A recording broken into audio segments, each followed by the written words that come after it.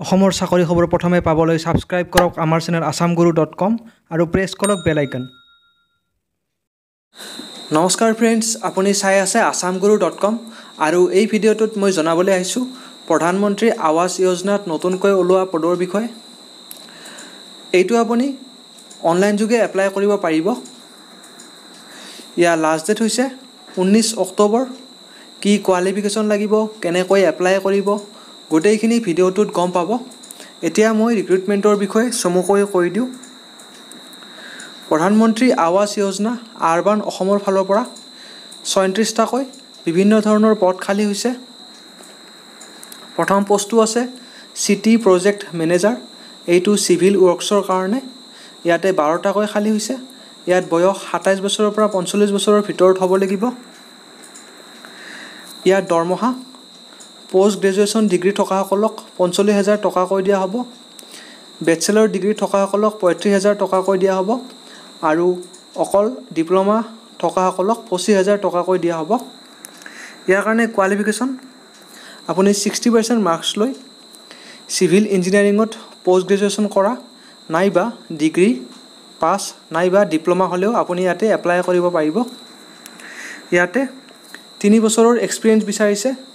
লগতে লোকেল লেংগুৱেজটো জনা হ'ব লাগিব। লগতে যদি আপোনাৰ ডাইৰেক্ট বেনিফিট ট্ৰান্সফাৰ অৰ্থাৎ ডি বি টি মিছন ইয়াতে এক্সপিৰিয়েঞ্চ থাকিলে বেছিকৈ প্ৰিফাৰেঞ্চ দিয়া হ'ব। ছেকেণ্ড পষ্টটো আছে city project manager M I এছৰ কাৰণে ইয়াত টোটেল চৈধ্যটাকৈ খালী হৈছে।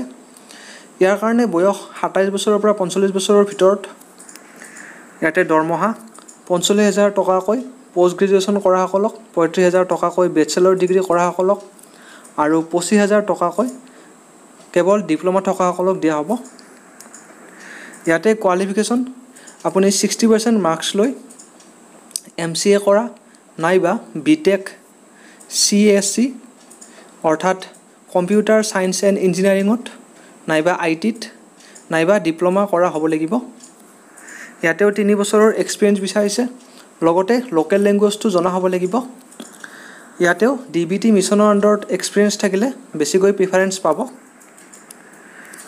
থাৰ্ড প্ৰজেক্ট এছ'চিয়েট ইয়াত আঠটাকৈ খালী হৈছে। ইয়াতে বয়স তেইছ বছৰৰ পৰা পঞ্চল্লিছ ক্ষমা কৰিব চল্লিছ বছৰৰ ভিতৰত। ইয়াত দৰমহা পঁচিছ হাজাৰ টকাকৈ দিয়া হ'ব। ইয়াতে কোৱালিফিকেশ্যন আপুনি যিকোনো বিভাগৰ পৰা গ্ৰেজুৱেশ্যন কৰা হ'ব লাগিব। লগতে কম্পিউটাৰ ভালদৰে জনা হ'ব লাগিব। ইয়াতে এটা কথা মন কৰিব। আপুনি যদি ডিষ্টেঞ্চ এডুকেশ্যনৰ পৰা ডিগ্ৰী পাছ কৰিছে তেতিয়াহ'লেও ইয়াতে আপুনি এপ্লাই কৰিব পাৰিব। ইয়াতে এক্সপিৰিয়েঞ্চ এক বছৰৰ এক্সপিৰিয়েঞ্চ বিচাৰিছে। লগতে কম্পিউটাৰৰ Microsoft word Microsoft excel power point এনেকুৱা ধৰণৰ আপুনি জানিব লাগিব। Fourth city project manager civil ৱৰ্কছৰ কাৰণে এইটো অমৃতৰ অমৃত মিছনৰ আণ্ডাৰত ইয়াতে এটাকৈ খালী হৈছে। ইয়াতে বয়স সাতাইছ বছৰৰ পৰা পঞ্চল্লিছ বছৰৰ ভিতৰত হ'ব লাগিব। ইয়াতে দৰমহা পঞ্চল্লিছ হাজাৰ টকা পষ্ট গ্ৰেজুৱেশ্যনৰ কাৰণে আৰু বেচেলৰ ডিগ্ৰীসকলৰ কাৰণে অকল পঁয়ত্ৰিছ হাজাৰ টকা দিয়া হ'ব। ইয়াতে কোৱালিফিকেশ্যন আপুনি ছিক্সটি পাৰ্চেণ্ট মাৰ্কছ লৈ চিভিল ইঞ্জিনিয়াৰিঙত পষ্ট গ্ৰেজুৱেশ্যন নাইবা ডিগ্ৰী পাছ কৰা নাইবা ডিপ্ল'মা কৰা হ'ব লাগিব। ইয়াতে তিনি বছৰৰ এক্সপিৰিয়েঞ্চ বিচাৰিছে লগতে লোকেল লেংগুৱেজটো জনা হ'ব লাগিব। আৰু ডি বি টি মিছনৰ আণ্ডাৰত এক্সপিৰিয়েঞ্চ থাকিলে আপুনি বেছিকৈ প্ৰিফাৰেঞ্চ পাব।